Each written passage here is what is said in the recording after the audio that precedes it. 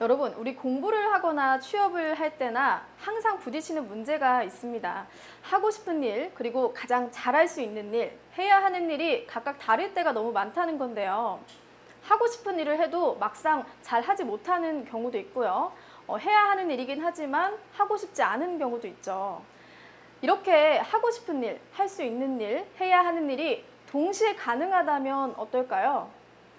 정말 꿈만 같은 일이라는 생각이 드실 텐데요. 오늘은 두 가지가 아니라 세 마리 토끼를 동시에 잡은 그런 훌륭한 분을 이 자리에 모셔보려고 합니다.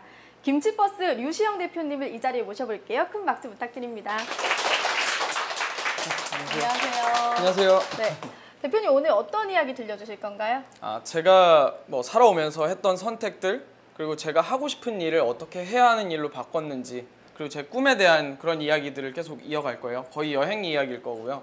그 안에서 제가 여행에서 받았던 메시지들 그런 것들을 이제 여러분들께 들려드릴 예정입니다. 어, 여행이라고 하면 또 우리 학생들이 정말 흥미롭게 들을 수 있는 그렇죠. 주제일 것 같은데요. 네, 오늘 대표님의 강의 기대하면서 들어보도록 하겠습니다. 생각이 흐르는 시간 청산유수 대표님의 강의 청해 듣겠습니다.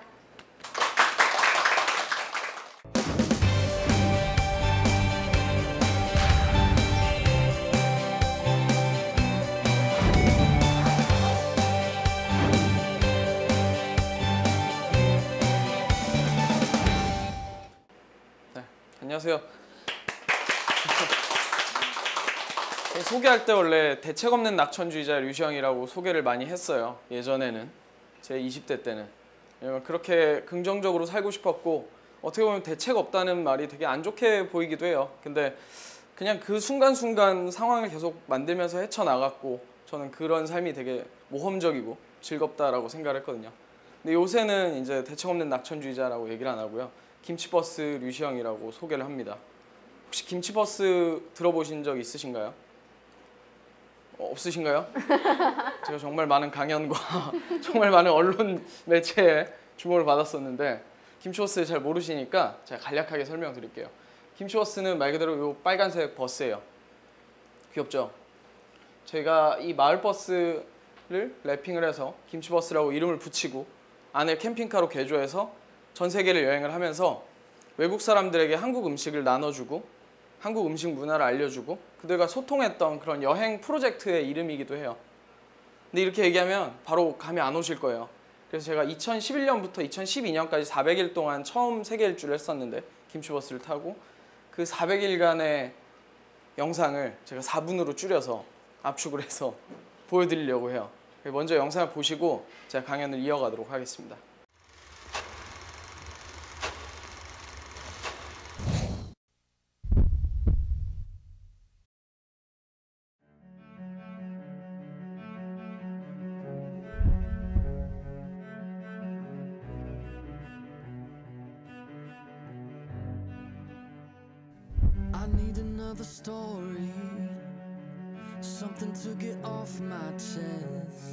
My life gets kinda boring. Need something that I can confess. Till on my sleeves I stained red from all the truth that I've said. Come by it honestly, I swear. Thought you saw me wink, no, I've been on the brink. So tell me what you want to hear.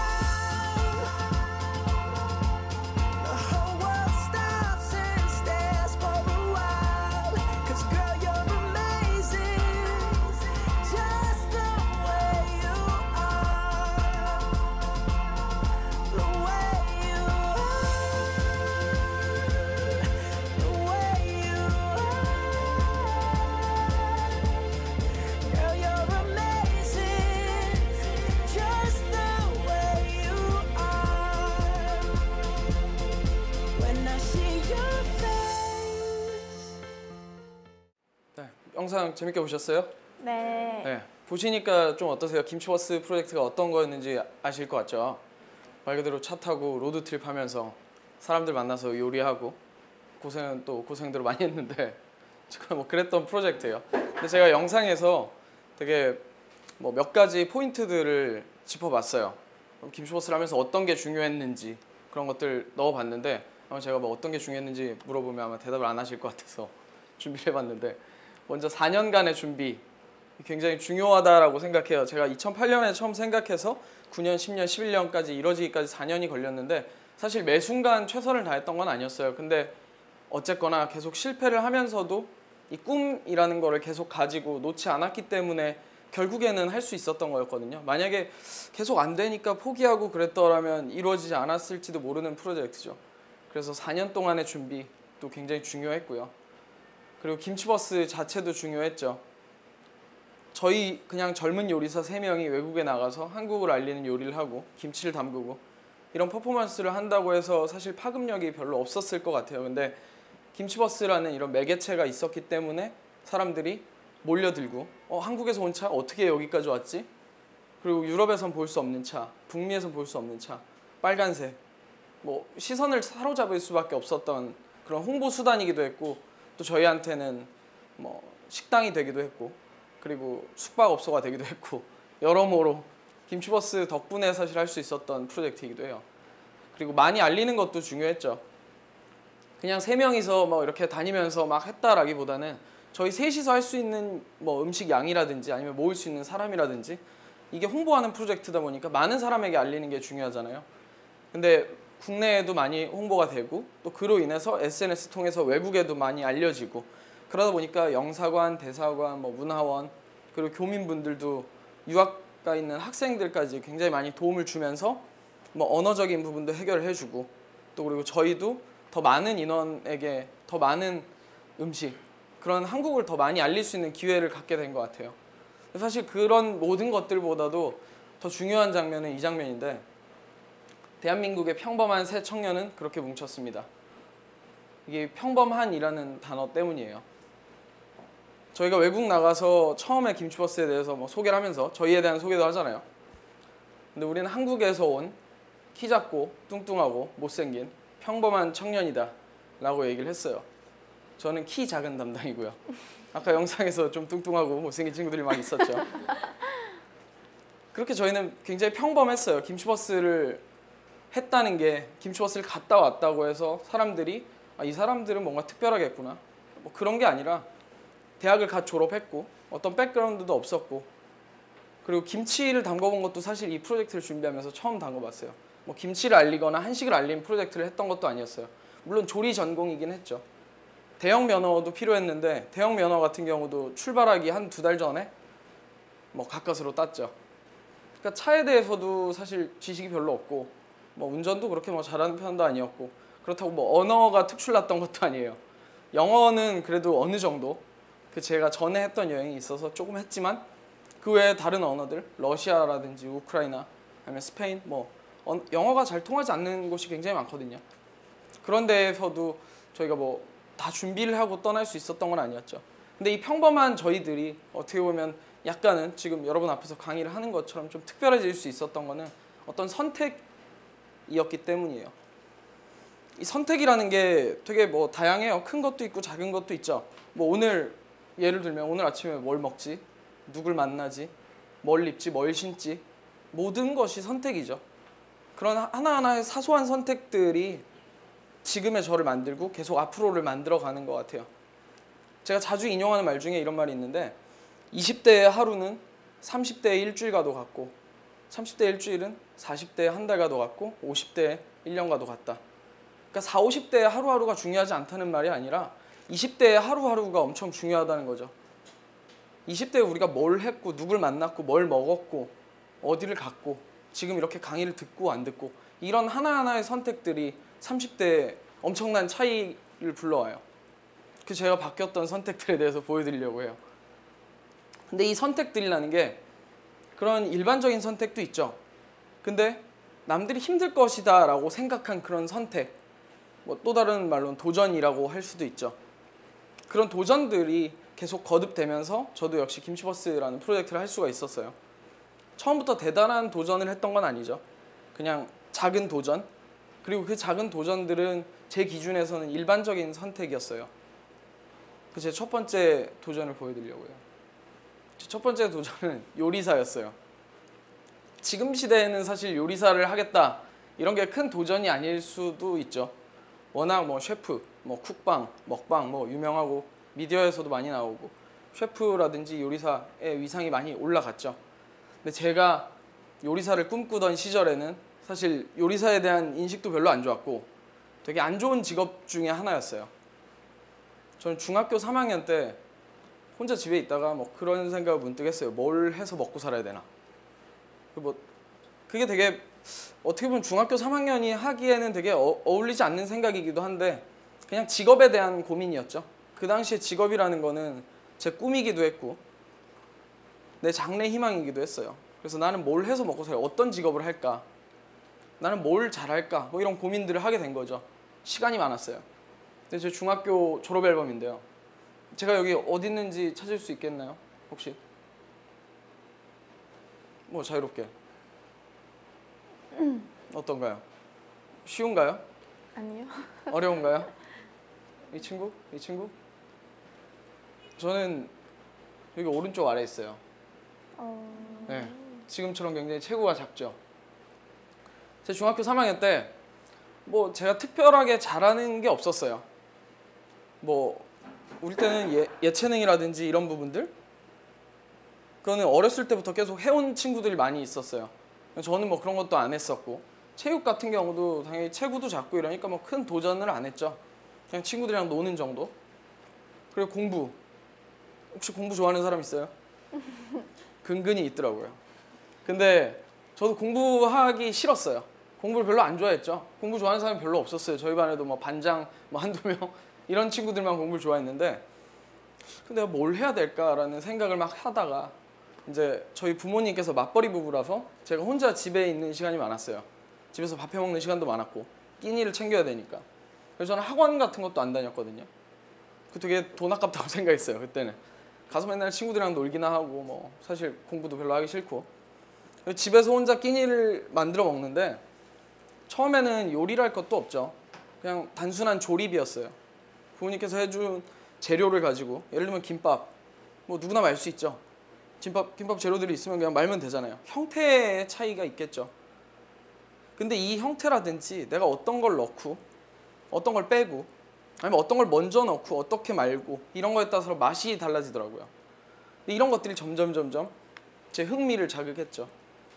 아, 내 요리가 되게 재밌구나 라는 생각을 했어요. 내가 요리할 때 되게 행복하구나. 그리고 남들과 달라질 수가 있구나 이 요리를 할 때. 그래서 요리사를 꿈꾸기 시작하죠. 또 결정적인 이유 중에 하나는 그런 것도 있었어요. 대학교 가도 공부를 안 해도 될 것 같다. 뭐 이런 생각이 있었어요.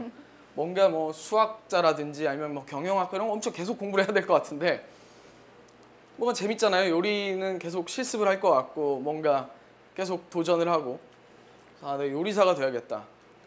그때 제가 딱 들었던 생각은 내가 요리사가 되기 위해서 그럼 뭘 하지? 이런 거였어요. 뭘 해야 될까요? 중학교 3학년이 요리사가 되기 위해서.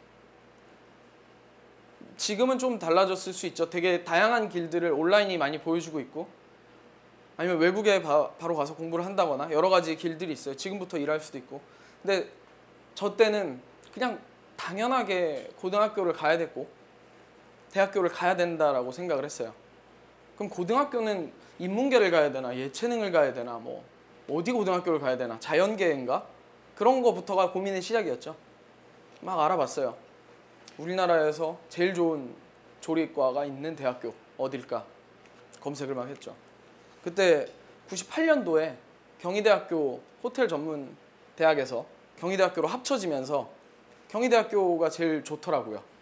그 저도 이름을 들어봤고 서울에 있는 대학교고 아이 이 학교를 내가 꼭 가야겠다. 경희대학교 조리과를 가면 내가 원했던 꿈 요리사인 그 꿈도 이룰 수 있을 것 같고 경희대학교 조리과를 졸업하고 호텔 가고 뭐 이런 식으로 여러 가지 내 꿈으로 가는 가장 좋은 코스라고 생각했어요.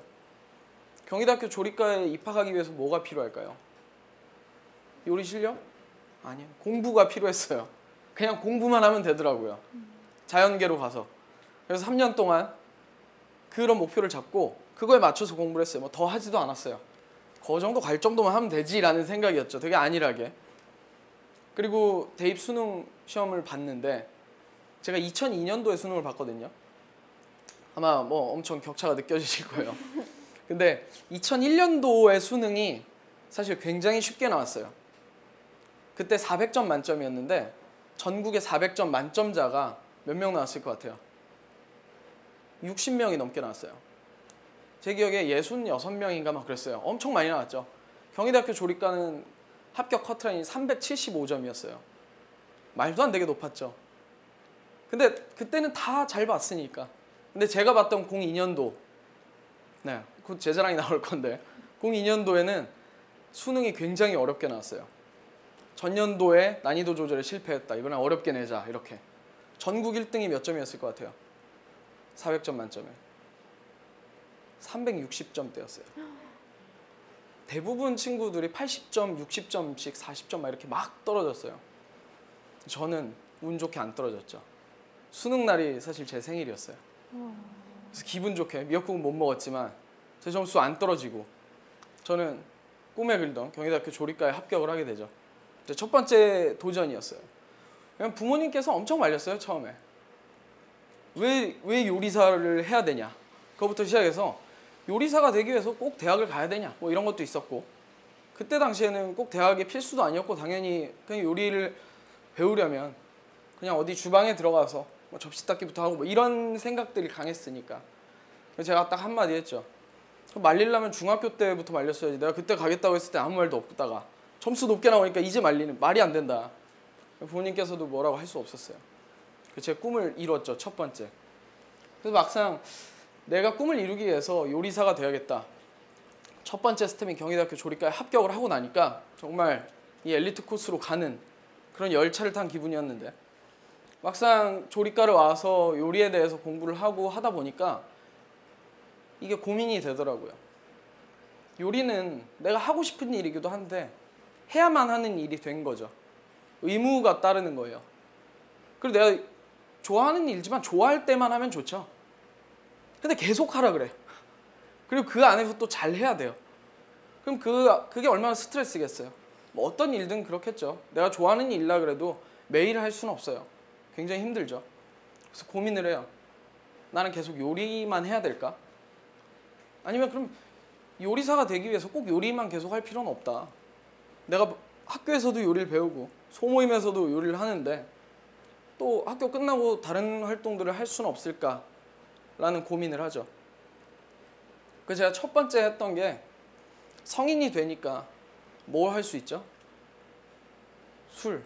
네, 맞아요. 술 마실 수 있죠. 그래서 저는 대학교, 아, 제가 그 고등학교를 대전에서 나왔는데 초중고를 서울로 오니까 자유가 됐죠. 독립을 했어요. 술도 마실 수 있고 독립을 했고 그리고 대전에서 초중고를 보내면서 중학교 때 꿈꿨던 요리사라든지 아니면 고등학교 때 했던 것들은 내가 할 수 있는 건 공부밖에 없었어요. 다른 뭐 어떤 기회가 없었죠. 인터넷도 그때는 뭐 천리안 나우누리 이래서 뭐 전화선 연결해서 했던 통신 뭐 그런 수준이었으니까 당연히 다른 정보들을 얻을 길도 없었고 나는 그냥 공부만 했는데 대학교에 와서 성인이 되고 하니까 할 수 있는 게 엄청 많아진 거죠.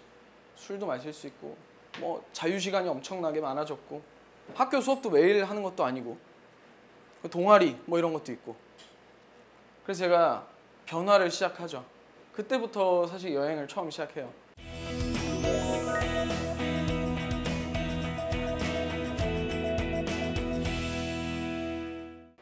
근데 여행을 좋아해서 여행을 떠났던 건 아니었어요 처음엔. 왜냐면 뭘 해야 될지 너무 많으니까 고민을 하다가 동아리를 들었는데 제가 처음 가입한 동아리가 사진 동아리였어요. 뭐 단순했어요. 사진 멋있는 사진 찍고 그때는 필름 카메라밖에 없을 시절인데 이렇게 막 필름을 감아서 사진을 찍고 어두컴컴한 방 안에서 이렇게 현상을 해서 한 30분, 1시간 만에 어떤 하나의 작품이 나오고 이런 게 되게 멋있어 보이는 거예요. 아, 저걸 해야겠다. 그리고 또 저희 과 선배들이 사진 동아리 선배들이 많았어요. 밥도 많이 사주고 친하고 하니까 그냥 단순히 사진 동아리를 들었는데 이거 사진은 뭐 카메라도 없고 사진을 배우다 보니까 욕심이 생기잖아요, 사람이. 뭐든 잘하고 싶고 멋있는 사진을 나도 찍고 싶고 그래서 멋있는 사진을 찍어야겠다. 멋있는 사진을 찍으려면 뭘 해야 될까요? 뭐, 일단 카메라가 있어야 되고 맞아요. 멋있는 장소에 가야 돼요. 그렇게 생각을 했어요. 뭐 다른 요새 사진 작가분들은 멋있는 장소에 가지 않아도 엄청 멋있는 사진들이 나오지만 저 보니까 내가 멋있는 어떤 관광지라든지 이런 데 가서 사진을 찍어야겠다. 그래서 여행을 준비하죠. 처음 방학 한 달 동안 막 일을 열심히 해요. 제가 했던 첫 장기 아르바이트자 거의 마지막 아르바이트였어요. 나머지는 다 단순한 하루 일당 받는 그런 일들밖에 안 했는데 어쨌거나 한 달 동안 일을 해서 그 번 돈으로 뭐 크지 않은 돈이었는데 이제 여행을 가기 위해서 또 멋있는 사진을 찍기 위해서 필름 카메라를 사고 배낭을 사고 매트리스 사고 침낭 사고 뭐 살 게 많더라고요. 물통도 사야 되고 뭐. 그랬더니 남는 돈이 없더라고요. 정작 멋있는 사진을 찍기 위해 여행을 가야 되는데. 그래서 고민을 했어요. 내가 어떻게 해야 되지? 근데 그때 그냥 단순히 그래 그럼 돈 없이 여행을 가자 라는 결론에 이- 다다른 거죠. 남들이 생각했을 때 일반적인 선택이 아닐 수 있어도 제 기준에서 봤을 땐 멋있는 사진을 찍고 싶고 여행을 가기 위해서 카메라도 샀는데 여행을 가면 되죠. 그래서 출발을 해요. 왼쪽 사진이 첫 번째 무전 여행 사진이에요. 처음엔 단순하게 뭐 돈 없으면 걸으면 되고 아니 예전에 차 없을 때 우리 아버지께서 해주셨던 얘기는 뭐 히치하이킹도 하고 이랬다 시골에서는 워낙 차가 귀하니까 그래서 히치하이킹도 해봐야겠다. 그리고 먹고 자는 거 뭐 어디선 대충 자면 되죠. 그리고 대학생이 되니까 각지에서 친구들이 많이 오잖아요. 그 친구 집에 갈 수도 있고, 그 친구의 친척을 소개받을 수도 있고, 저 역시도 친척들이 곳곳에 있고, 그런 데서 대충 이렇게 뭐 하루 이틀 머무르면 되지 않을까라는 단순한 생각이었죠. 출발했어요. 처음에 30일 일정으로 출발했어요. 방학이 이제 한 달 남았으니까 한 달 동안 여행을 하면서 멋있는 사진을 찍겠다. 근데 이 여행이 보름 만에 끝이 나요.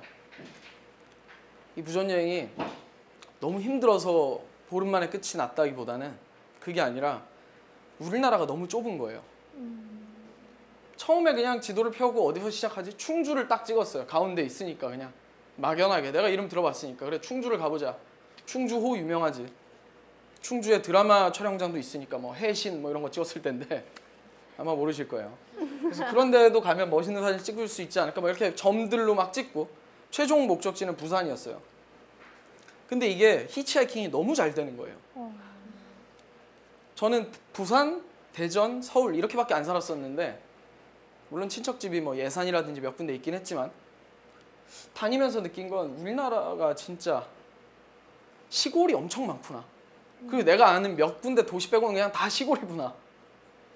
우리가 이름 듣는 뭐 충주, 예천, 포항, 울산 뭐 울산은 뺄까요? 어쨌거나 그런 도시들도 실제 가봤을 때는 서울의 어느 동네보다도 어떻게 보면 그 시내가 작은 규모인 경우도 굉장히 많았고 고층 빌딩 그런 것도 거의 없었죠. 그냥 시골 같았어요. 그리고 그 이름 들었음직한 그런 도시를 이동하는 그 사이에도 아무것도 없었죠. 그냥 산 혹은 강 아니면 농지 뭐 이런 것들이었어요. 내가 알던 세상이랑 되게 다르구나. 히치하이킹을 하니까 어디든 한 번에 갈 수도 있고 우리나라 되게 좁잖아요. 그래서 정말 술술 풀린 여행이었어요. 이 여행에서 첫 번째 목적이 여- 사진이었잖아요, 제가. 좋은 사진 찍지 못했어요. 왜냐면 하루하루 뭘 먹어야 되지, 어딜 가야 되지, 누굴 만나야 되지 이런 고민들이 계속 연속이었고 비를 항상 피했고 그리고 결정적으로 저는 필름 카메라를 제대로 다룰 줄 몰랐어요. 배우긴 배웠는데 그때는 자동 카메라에서 필름을 이렇게 넣고 닫으면 찡 이렇게 해서 감겨야 되는데 그게 아니라 이제 수동 카메라를 처음 사서 출발하다 보니까 이게 필름이 감겼다고 생각하고 막 찍던데 그게 필름이 날아가고 그런 경우가 많았죠. 실제로 멋있는 장소에 간다고 해서 모두가 멋있는 사진을 찍을 수 있는 건 아니더라고요. 저 역시도 그랬어요. 그래서 반은 뭐 목표는 이루지 못했지만 반은 망했지만 다른 것들을 얻은 거죠. 내가 몰랐던 그런 세상을 많이 봤고 그리고 내가 당연하다라고 생각했던 것들이 되게 소중하게 느껴진 게 많았어요. 고맙고 예를 들면 물 아니면 휴지, 배고픔, 따뜻한 샤워 뭐 이런 것들 그런 게 우리는 지금 너무 당연하잖아요. 고맙지도 않죠. 근데 그런 게 되게 간절해지더라고요. 그래서 내가 그런 거에 대해서 되게 고맙게 생각하면서 살아야겠다. 그거 플러스 우리나라에 되게 좋은 사람들이 많이 있구나. 되게 따뜻한 사람들이 많이 있구나. 인심을 느끼면서 한 번 더 무전 여행을 해요. 두 번째 무전 여행 때인데 이때는 머리를 자른 이유가 이제 군대 가기 직전이라. 근데 두 번째 여행의 목적은 좀 달랐어요. 여행을 하자였죠. 멋있는 사진 필요 없다. 나는 여행을 하고 싶다. 그런 생각이었죠. 그래서 똑같이 30일을 기획을 하고 또 여행을 떠나. 이번엔 정동진에서 출발해요. 동해부터 한번 가보자 이래서. 근데 역시나 보름 만에 끝이 나긴 했어요. 너무 뭐 도로도 잘 돼 있고 우리가 가고 싶은데 그리고 첫 번째 여행을 통해서 굉장히 많은 노하우를 얻었어요. 예를 들면 뭐 이런 거죠. 친척들을 만나러 가는 게 아니라 그냥 이제 어느 마을에 가면 거진 마을이에요 우리나라는 도시를 딱 벗어나면 마을마다 이렇게 건물이 쭉 있는데 깃봉이 이렇게 세 개가 올라온데 건물이 있어요. 태극기, 그다음에 새마을 국기, 새마을기 뭐 이렇게 몇 개 이렇게 올라와 있죠. 거기가 마을 회관이에요 보통. 저희는 딱 마을을 보면 아 오늘은 저기에서 자야겠다 찾아가죠. 이장님을 막 먼저 찾아갔어요. 아 이장님 저희 서울에서 온 학생들인데 이렇게 무전 여행을 하고 있습니다. 마을이 너무 아름다워서 하루 좀 쉬었다 가고 싶은데 얼마나 좋겠어요. 사실 관광지도 아니고 아무도 오지 않는 그런 마을이죠. 근데 그냥 서울에서 왔다 학생들이 이런 여행을 하네 되게 기특하네 그런 생각만으로 되게 많은 호의를 베풀어 주셨죠. 막 특산물을 가져다 주시고 저녁 먹었어? 밥 먹어. 또 다음날 아침 떠날 때도 아침밥을 해주시고 또 그리고 마을 버스라는 아 마을 버스가 아니라 그 마을 회관이라는 게 밤에는 아무도 없잖아요. 낮에는 어른들이 모여서 이렇게 뭔가 행사를 하거나 모임이 있거나 한데 그래서 거기서 또 잘 수가 있었죠. 요새는 또 굉장히 잘 돼 있어요. 제가 2010년에 전국 일주를 한 번 더 했었는데 뭐 찜질방도 있고 안마 의자도 있고 물론 그런 데를 꼭 이용하라는 건 아니지만 이렇게 첫 번째 여행에서 그런 노하우들이 많이 쌓이다 보니까 두 번째 여행은 훨씬 더 쉬웠죠. 근데 이 두 번째 여행에서 제가 운명적인 아줌마를 만나요. 이렇게 판초이를 쓰고 비 오던 날이었는데 저희 세 명이서 여행했거든요. 누구도 태워주고 싶지 않죠. 비에 젖고 막 남자들이 이렇게 생겨봐요. 얼마나 차에 자기 차도 막 젖고 이러는데 안 태워주고 싶은데 어떤 어머님이 저희가 지리산에 갔다 내려왔는데 프라이드 알죠? 조그마한 차 프라이드였는데 저희를 태워주시더라고요. 그래서 탈 자리가 없을 것 같은데 막 극적이면서 어쨌거나 막 꾸겨 탔죠. 근데 그 어머님께서 그러시더라고요. 아, 딸 같아서 태워줬다. 근데 그런 말들을 많이 했어요. 아들 와서 태워줬다, 뭐딸 와서 태워줬다 이런 얘기를 많이 들었는데 이분 따님이 유럽에서 무전 여행을 하고 있다는 거예요. 제가 그때 어, 어 나도 나도 외국에서 여행을 해보고 싶다 이런 생각이 처음 들었죠. 요새는 대학생들이 여행을 굉장히 많이 나가잖아요. 고등학교 때도 막 많이 나가기도 하죠. 근데 저 때는 그렇게 막 많이 다니던 편은 아니었어요. 뭐 유럽 배낭여행 이러면 굉장히 멀게만 느껴졌고 돈이 많아야 갈 수 있을 것 같고 그리고 아 이게 그게 감이 잘 엄두가 안 나던 그런 거였죠. 근데 그 얘기를 듣고 나니까 그 분이 배낭여행이었던 아니면 무전여행이었던 뭐 상관없이 뭐 그냥 해보고 싶었어요. 아 나 한번 여행을 해야겠다. 이런 무전 여행을 외국에서 해봐야겠다. 그런 고민을 하고 이제 출발을 이제 군대를 갔다 와서 막 출발 준비를 하죠. 1년 동안. 뭐 열심히 했던 건 없었어요. 어차피 무전 여행이니까 그냥 가면 되는 거잖아요. 그러면서 떠나겠다 떠나겠다 이런 고민들만 하면서 3학년 1학기를 마치고 편도 마드리드 티켓을 끊었죠. 그래서 이제 출발까지 얼마 남지 않았을 때였어요. 근데 이런 고민이 발목을 붙잡더라고요. 장기 여행이냐 스펙업이냐. 요리사가 되기 위해서 나는 경희대학교 조리과를 왔고 뭐 요리가 아니어도 여행이라든지 다른 것들은 취미로 막 했지만 어쨌거나 3학년 1학기에 내가 1년 동안 쉬면서 뭔가를 한다면 그게 내가 요리사가 되기 위해서 도움이 되는 일인가? 남들처럼 어떻게 보면 스펙업을 해야 되는 건 아닌가? 내가 지금 여행을 떠날 때인가? 이런 고민이 된 거죠. 저는 막 합리화를 시작해요. 내가 요리사가 되기 위해서 난 이 여행이 필요하다. 왜? 합리화를 계속 하는 거죠. 어떤 거냐면 선배들한테 막 물어봐요. 후배들한테도 물어보고. 야, 스페인 사람들은 뭘 먹을까? 프랑스 사람들은 뭘 먹지? 이탈리아 사람들은 뭘 먹지? 몰라요? 이탈리아 사람들. 피자, 파스타 많잖아요. 그죠? 미국 사람들은 뭘 먹어? 대답할 수 있는 사람이 별로 없었어요. 말 그대로 뭐 이탈리아 피자, 뭐 미국 햄버거, 스테이크 이런 정도였죠. 그럼 한국 사람들은 뭘 먹을까? 우리 뭐 먹죠? 어제 뭐 먹었어요? 오늘 점심 뭐 먹었어요? 김치찌개. 우리가 실제 먹는 것들은 밥, 뭐 찌개, 김, 뭐 참치, 뭐 햄, 콩자반, 멸치조림 뭐 이런 거잖아요. 외국에 알려진 우리나라 음식 뭐죠? 뭐 김치, 그리고 또 불고기, 잡채, 비빔밥. 잡채 최근 일주일 안에 나 먹어봤다. 아니면 뭐 불고기 나 일주일 안에 먹어봤다. 불고기 좀 있네. 비빔밥. 음. 실제 우리가 먹는 것보다 알려진 거는 우리가 많이 먹고 접하는 그런 것들이 아니라 문화를 대표하는 것들인 거죠. 이탈리아나 그런 데도 마찬가지겠죠. 근데 내가 만약에 거기에 간다면 이런 답을 해결해 줄 수 있지 않을까? 이탈리아 사람들은 매일 뭐 집에 화덕이 있어서 어 그래 good morning 이러면서 피자를 구워주고 점심으로 파스타를 싸가 내일도 파스타야 뭐 이, 이렇지 않단 말이에요. 근데 내가 만약 그 했던 두 번 했던 무전 여행이란 방식을 가지고 외국에 나가면 그들처럼 먹고 생활하고 마시고 자고 그럼 내가 그 문화를 잘 알 수 있지 않을까? 그리고 어떤 요리를 하는데 스킬이 중요한 거 그것보다는 문화를 잘 알고 이해를 하면 내가 남들보다 좀 더 뛰어난 요리사가 되지 않을까라는 합리화를 하는 거죠. 근데 제가 이 무전 여행을 원래 둘이 두 명이서 떠나기로 했어요. 저랑 제 친구랑. 근데 한 명이 이제 출국 일주일 전에 밤에 저한테 문자가 오죠. 남아야겠다. 그래서 그 순간 뭐 배신감이라든지 뭐 이런 것도 없었어요. 왜 너 왜 남아? 야 무슨 소리야? 취소 수수료 얼마인데 뭐 이런 얘기 할 것도 없었고 그냥 단순히 그럼 나는 떠나야겠다라는 생각이었죠. 그래서 저는 떠났고 그 친구는 남았어요.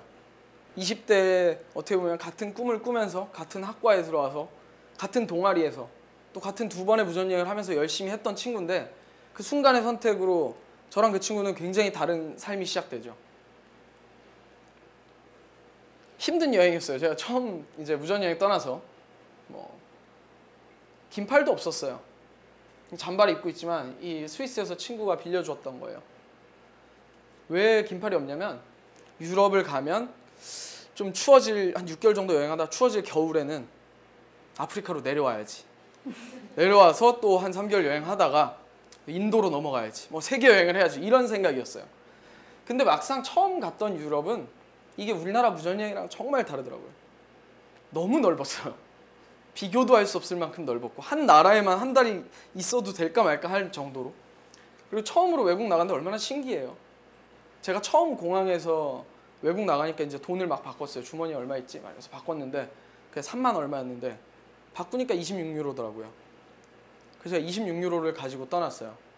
굉장히 막막했죠. 스페인 마드리드로 편도 티켓을 세 번 경유를 해서 갔어요. 31시간. 지금은 말도 안 되죠. 그 누가 그렇게 가겠어요. 근데 저는 처음 여행이다 보니까 이게 너무 즐, 즐거운 거예요. 헉, 내가 처음 가는데 세 번, 세, 세 나라나 들려. 대만 갔다가 대만에서 한 시간 있다가 방콕 갔다가 어, 태국도 가네. 그리고 로마 갔다가 헉, 이탈리아도 로마에서 다시 스페인으로. 그런 첫 여행 자체가 저한테는 너무 설렘이었죠. 출발했는데 결론부터 얘기하면 요리를 배우고자 요리의 문화를 느끼고자 출발을 했지만 실제 저는 완전 다른 사람이 돼서 돌아왔죠. 220일 동안 여행을 했는데 제가 가졌던 정말 많은 한국에 대한 편견들 당연히 중학교 때 어, 고등학교를 가야지 대학교를 가야지 이런 편견들 아니면 동성애자에 대한 편견 그리고 꼭 돈이 있어야만 뭔가를 할 수 있다라든지 그런 부와 가난함 그런 것들에 대한 편견을 굉장히 많이 깬 여행이었어요. 동성애자에 대한 얘기를 하나 해- 하자면 에피소드로 이런 거였어요. 저는 되게 그들을 겁냈었죠. 두려워했고 실제 이탈리아에서 별로 뭐 안 좋은 경험도 있었어요. 근데 그 여행을 뭐 하면서 어쨌거나 일어날 수 있는 일이라고 생각을 했죠. 근데 별로 동성애자에 대한 경험이 없었는데 베를린에서 완전 이게 편견이 깨진 거죠. 베를린에서 제가 한 4개월 정도 됐을 때였는데 여행을 막 하다가 베를린에 갔을 때는 이제는 뭐 나 여기서 한 2주 정도 머무르고 싶다 이러면 머무를 수 있을 정도로 노하우가 쌓였을 때였어요. 그래서 베를린은 그래도 독일의 수도니까 한 2주 정도 머물러야겠다. 뭐 그런 생각이었고 사람들한테 길에서 막 물어보고 다녔어요. 저 되게 단순하게 길에서 친구를 만나서 여행을 했는데 어떤 거였냐면 이런 거였어요. 길에서 혼자 다니는 사람. 왜냐면 여러 사람 있으면 잘 대답 안 해주거든요. 서로 미루고 혼자 다니고 그 다음에 20, 30대 그 사람들이 영어를 좀 해요. 그래도 유럽에도 영어 못하는 사람 많이 있듯이 20, 30대 혼자 다니는 사람 그리고 남자 혼자 다니는 여자한테 이렇게 물어보면 좀 이상하잖아요. 그죠? 이상하게 생각할 수도 있고 그래서 남자한테 물어봐요. 너 영어 할 수 있어 혹시? 어, 할 수 있대. 어 그래 잘 됐어. 너 혹시 여기 살아? 물론 여기 살 것 같은 사람한테 물어보죠. 뭔가 행색이 여기 산대.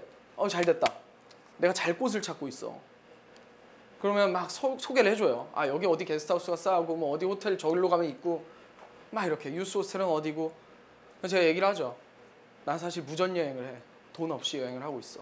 왜냐하면 나는 이런 요리사의 꿈을 가지고 있고 내가 이런 거를 해보고 싶어. 난 루브르 박물관 안 올라가도 돼. 난 너네 집 냉장고가 궁금하고 너가 매일 먹는 게 궁금해.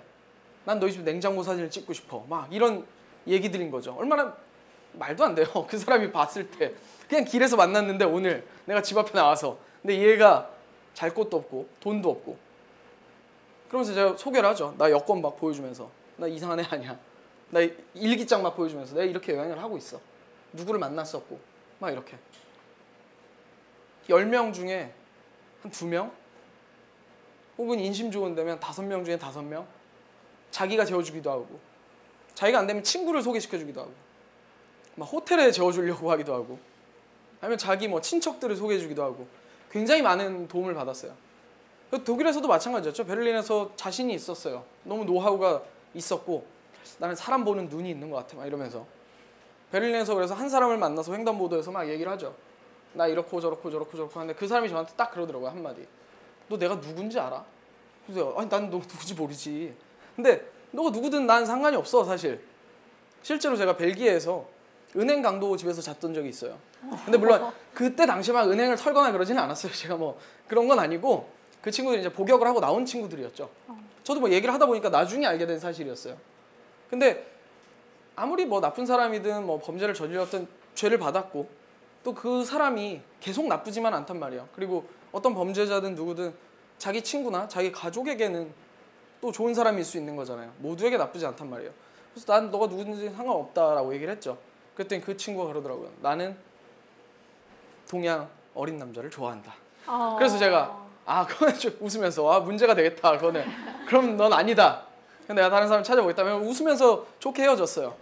그리고 이제 막 공원을 거닐다가 어디 벤치에 앉아가지고 아 힘든데? 막 이러고 보고 있는데 옆에 누가 신문을 보고 있더라고요. 어떤 남자가.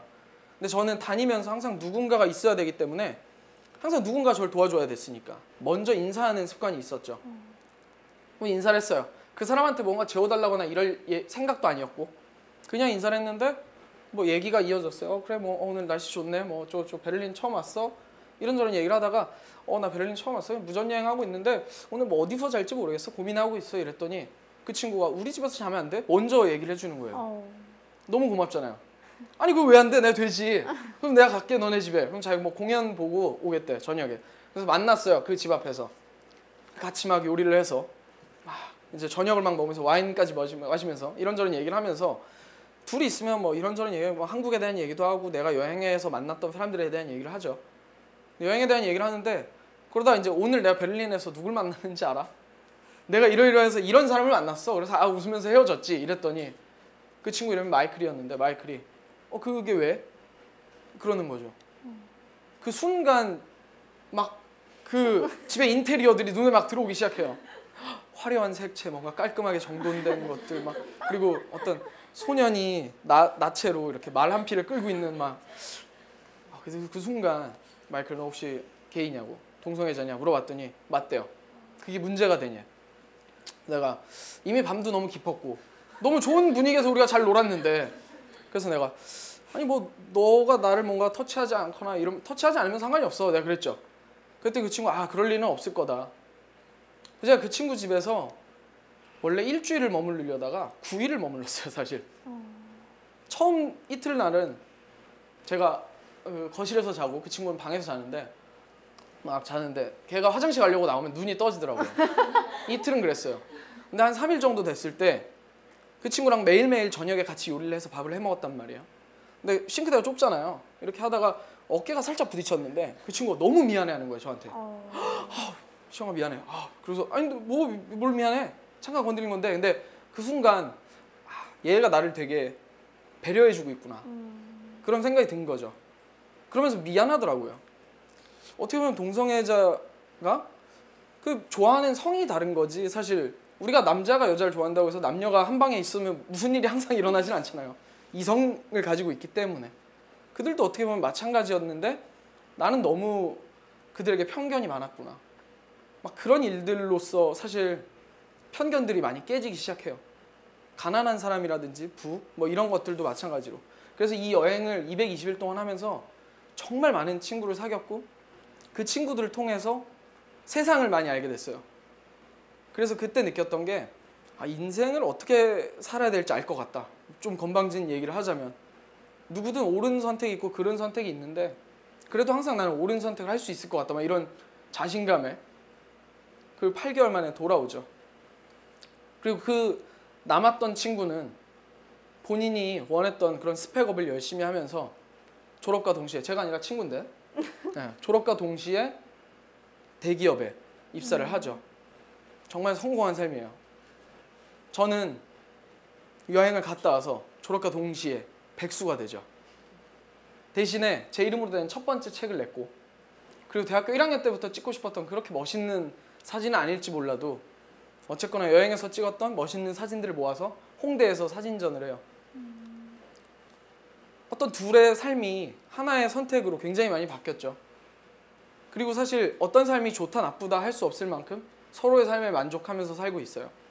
저 역시도 이 무전여행을 하면서 되게 많은 것들을 깨달았고 요리를 알기 위해서 문화를 알기 위해서 떠났지만 이 여행을 통해서 사람을 알게 됐고 그 사람을 통해서 어떻게 살아가야 될지에 대해서 알게 됐고 그래서 이제 제 꿈이 바뀌죠. 나는 여행가가 되어야겠다. 네. 저는 이렇게 여행을 하면서 백수가 됐지만 후회도 없었고 그 친구 역시도 마찬가지였어요. 자기가 원했던 삶을 살기 시작했죠. 네. 여기까지가 제 1부예요. 여행가. 처음에 꿈은 요리사였지만 계속 계속 바뀌어서 여행가가 됐고 어쨌거나 내가 좋아하는 일들을 계속 찾아가면서 흥미를 찾아가면서 하고 싶은 일을 계속 했죠. 물론 그런 것들이 해야 할 일은 아니었지만 그런 것들을 계속 해도 되는 누군가를 책임져야 될 의무가 없었으니까 계속 하고 싶은 일을 하게 된 거예요. 여행가가 되기 이후, 여행가가 된 이후부터의 삶은 제가 2부에서 네, 계속 이어가도록 하겠습니다.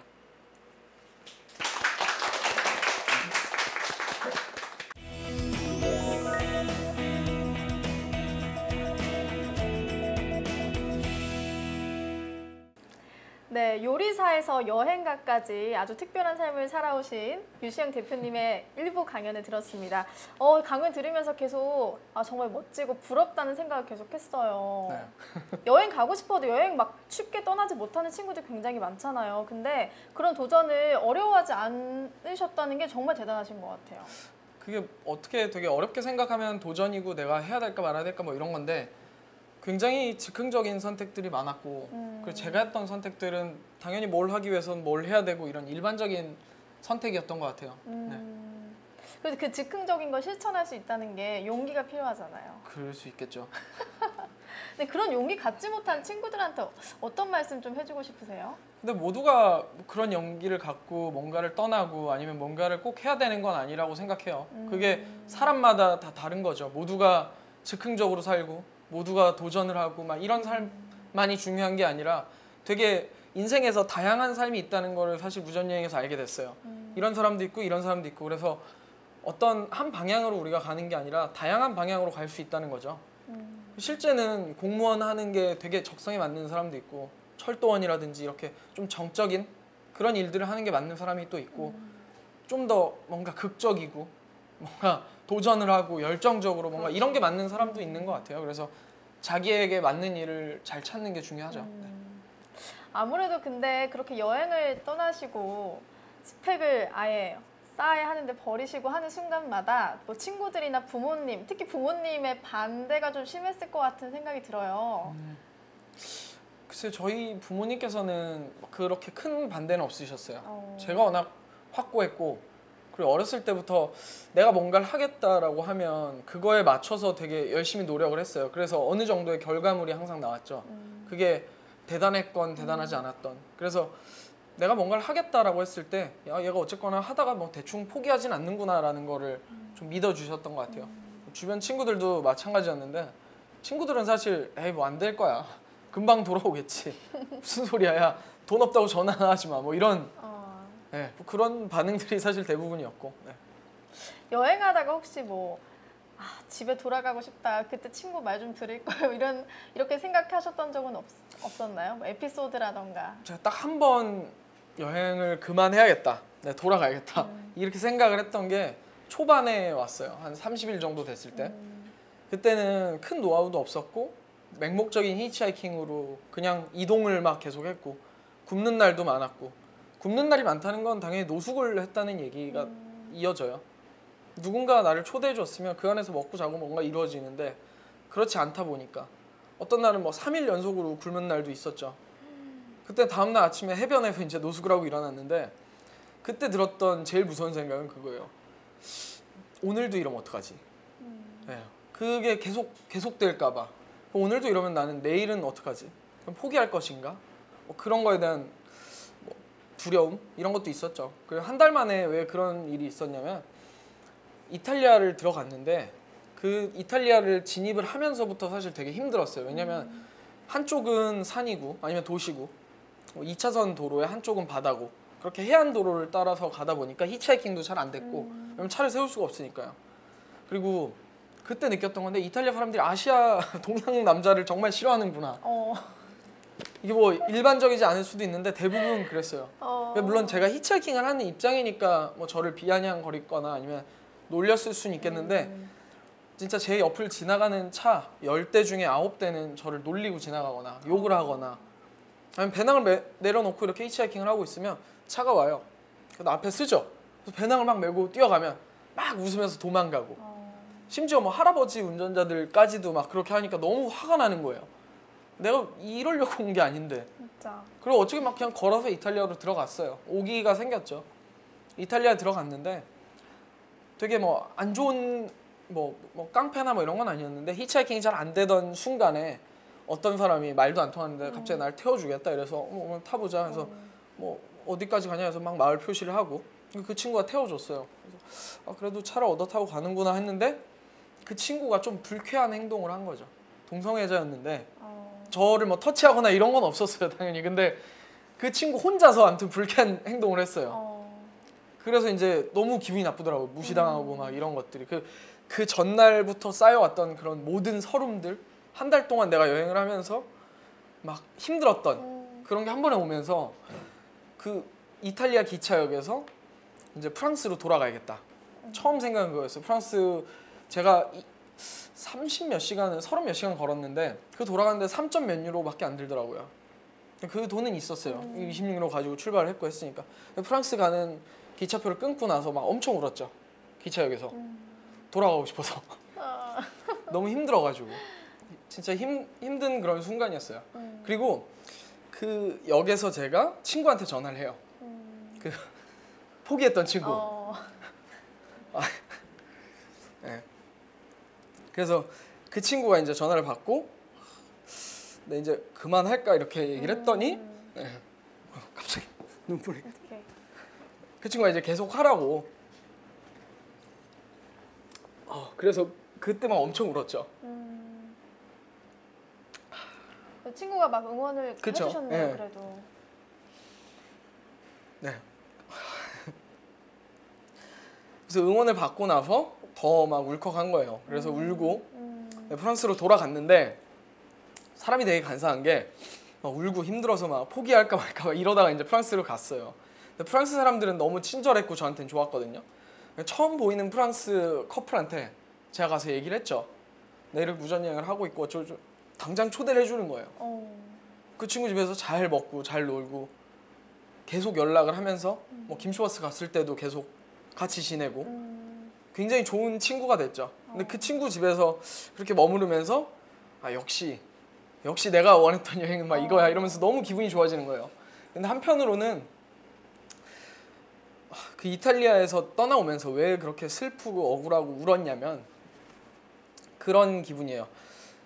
내가 힘들어서 포기할 수도 물론 있겠지만 근데 프랑스는 좋았으니까 이탈리아 힘드니까 이탈리아에서 포기를 하고 프랑스로 가면 좋고 내가 다시 나중에 스페, 스위스를 갔을 때 독일을 갔을 때 그때는 이제 제가 스페인, 포르투갈 그리고 프랑스밖에 경험하지 않았을 때였거든요. 음, 근데 내가 스위스를 갔다가 또 이런 경험을 받는다거나 혼- 환대를 못 받거나 안 좋은 일을 겪으면 그럼 난 다시 프랑스로 올 건가?